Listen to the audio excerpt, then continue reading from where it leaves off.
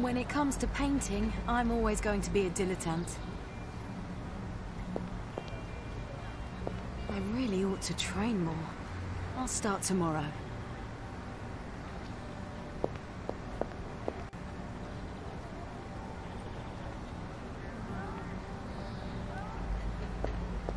That's a long time ago.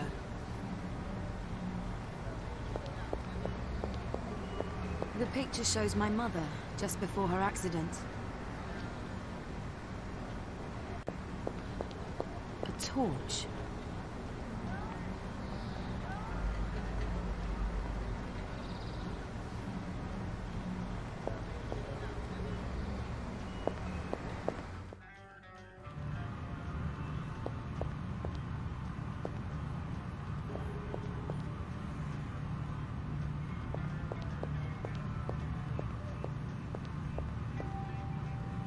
So, the London Modern.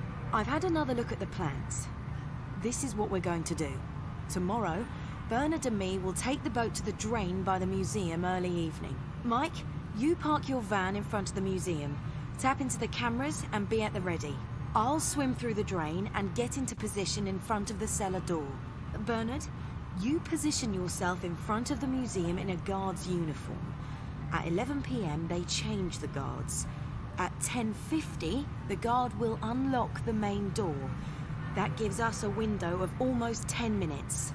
At 10.50, I'll call the internal phone in Exhibition Area 2. While the guard's on his way there, Bernard enters the museum, goes to the surveillance room, opens the door, and turns off the recorders. Mike, you watch over the cameras and let Bernard know when he can leave the building again. I'll open the cellar door with the bump key and then go upstairs. Then I'll swap the pictures and head straight back. Bernard, in the meantime, you should be back at the van. You two get out of there without attracting attention. I'll take the boat. We'll meet back at the loft. Is everything clear? Crystal, Good. Then please go and check the kit and prepare the boat and the van. I'll go round to Roberts. Hopefully he's finished.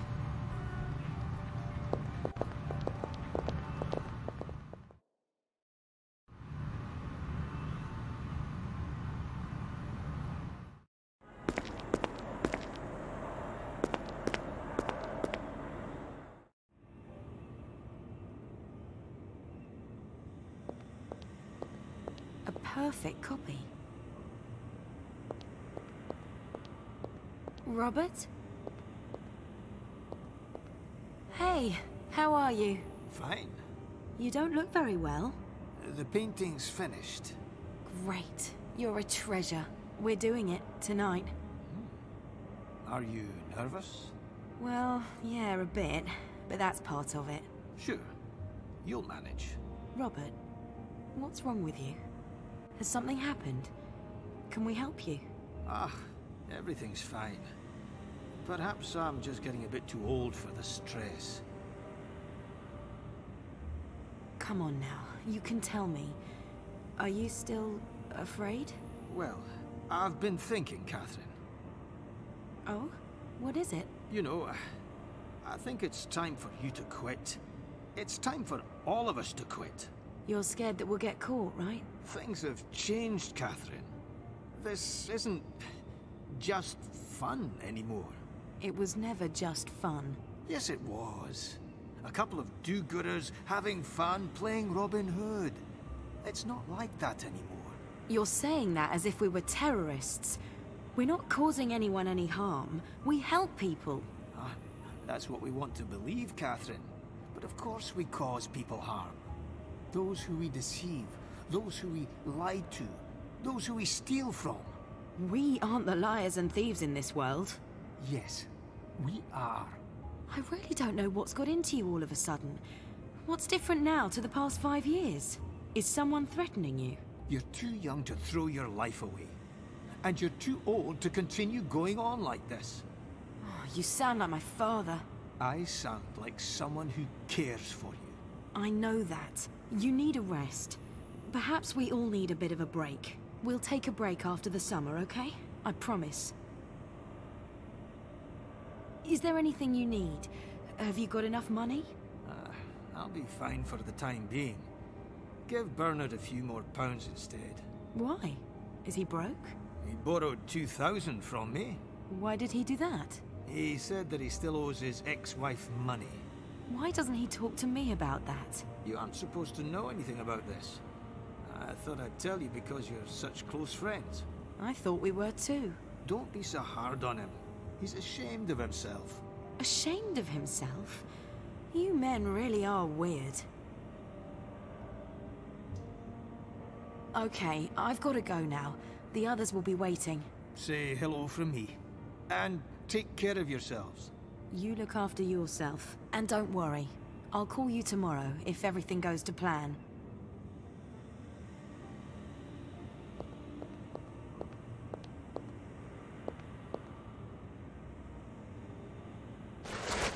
There we go.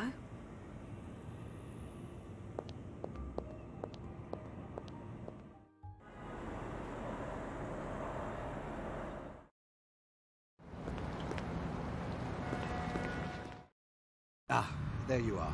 Did everything go okay? Yeah, it's all good. I've got the picture. And? How's McBride doing? Is he still having his panic attacks? I'll tell you later. Have you got everything ready? Of course. Ready to go. Okay, friends. Break a leg. See you at the museum. Alright then. Take care of yourselves.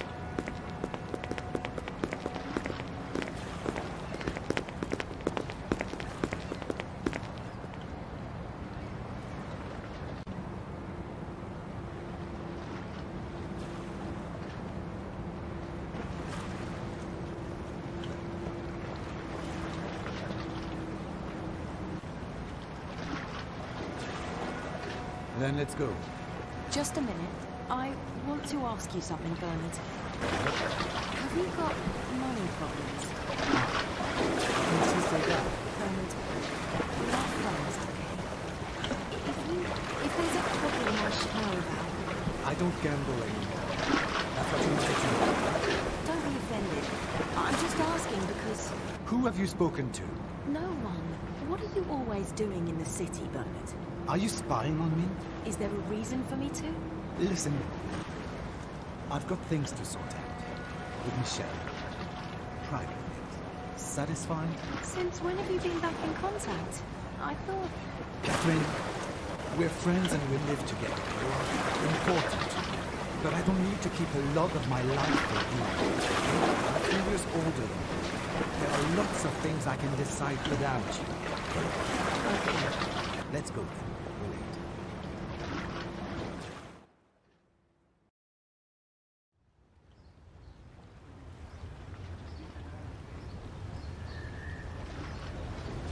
Mike, we're there now. Exactly. Bernard will get changed here at the boat and then go to the surveillance room. I'll get ready to dive then. Are you guys ready? Of course. Okay. Then let's get started. I'm at the door. Bernard, everything all right? I'm at the entrance. Mike, where's the guard? In the target area. Okay. I'll call the phone now.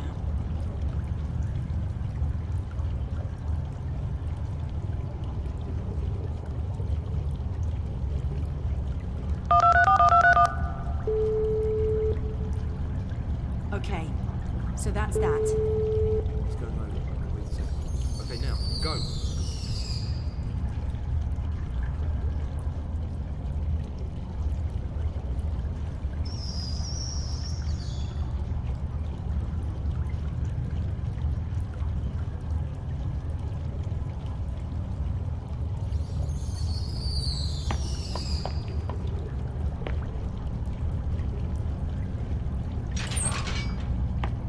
I'm in. I'm so proud. Bernard, now it's your turn. Okay.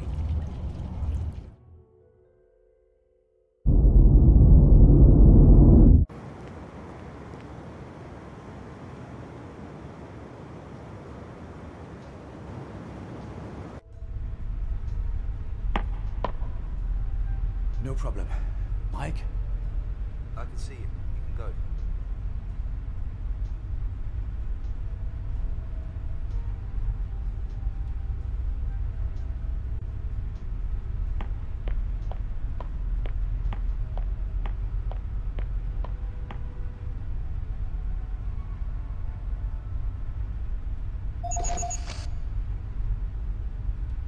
Okay, Mike. Good work.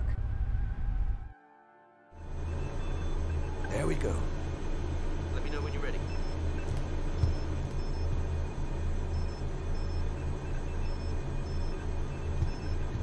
You can see the whole of the museum from here.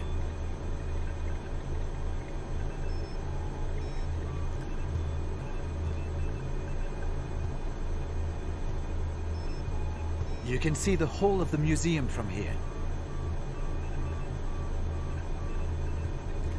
Apparently they're turned off overnight.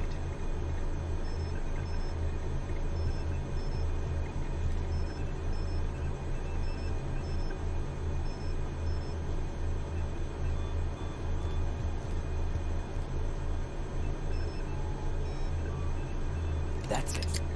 Get yourself out of there. On my way. Catherine, it's up to you now.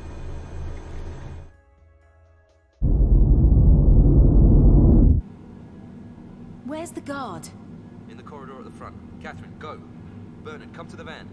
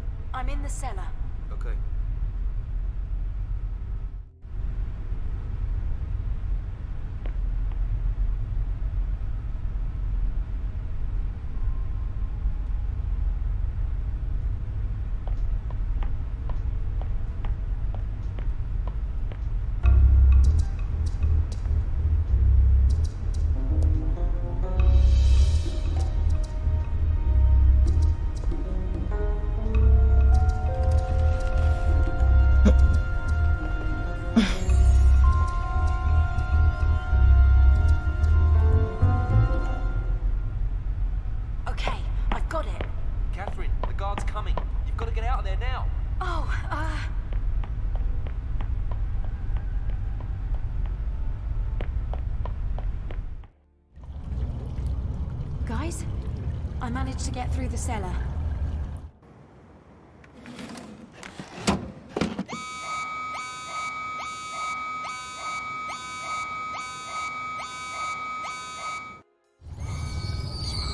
What's going on up there? Something has set the alarm off. Oh, crap. Get out of there now. See you at the loft.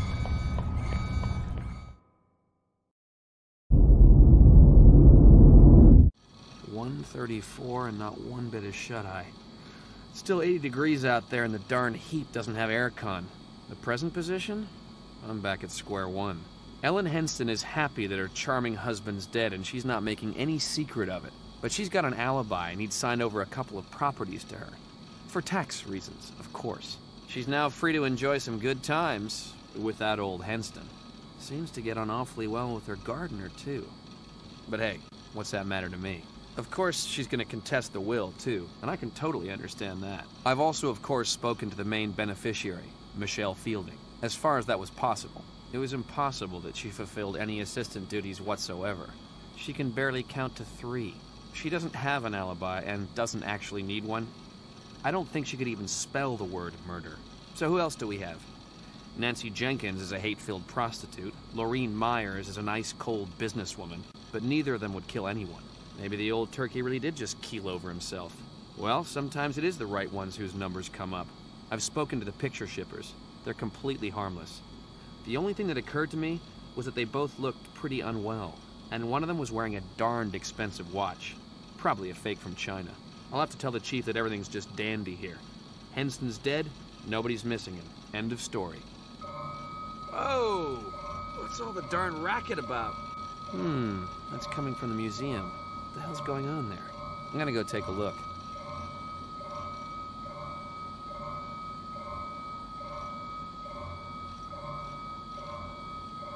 I have to do something else first.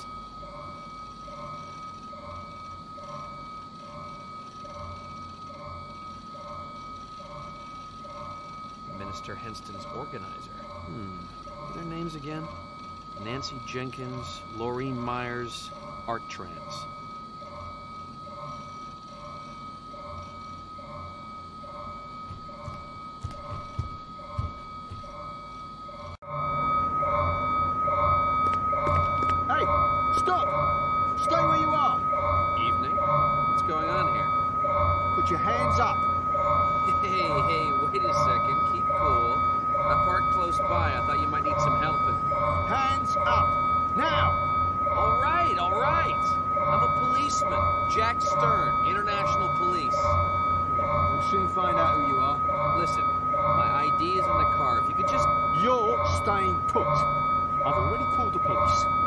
Tell them what you're doing here.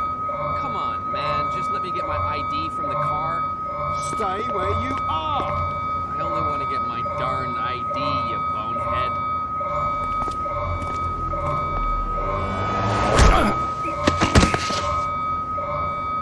Sorry. We'll have to wait for the police first. Well, heroes, how did you sleep? Badly. Not at all. I dreamt that a special commando unit burst down the door and took me off to prison. And I don't want to talk about what happened next. I, I was just laying awake. Things to think about. Hey, what's wrong with you guys? All in all, it went really well. Sure, we were within an inch of getting caught. We're not doing it like that again. I'd rather go on demos again. That's better for my nerves. I really don't know what's wrong with you two. We're doing the handover soon and then we'll distribute the money. That's great, isn't it? This is the biggest deal we've ever done. Hmm. And if they catch us, we'll get the toughest punishment we could ever wish for. Stop that, Mike. The guy at the jetty saw us. What's more, the camera at the car park saw us. If that damn alarm hadn't gone off. I'm sorry, can we leave it at that? So, when's the stupid handover? At three. All right then, let's go. Bernie, are you coming? I can't. I've got an appointment. Again. Listen, what's actually going on? You've got appointments every five minutes. Leave him. Why? What is this? A pensioners conspiracy? Bernard has private things to clear up, Mike. Leave him be.